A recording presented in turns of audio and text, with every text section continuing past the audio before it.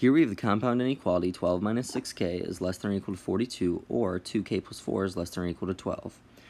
We're going to begin by working on the left-hand side by subtracting 12 from both sides of the inequality. This gives negative 6k is less than or equal to 30. We notice we have to divide by a negative, so we're going to flip our sign and rewrite the inequality.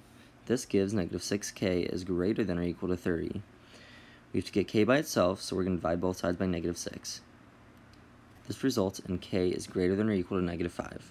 Next, we have to work on the right-hand side of the um, beginning inequality. We subtract 4 from both sides, and this gives 2k is less than or equal to 8.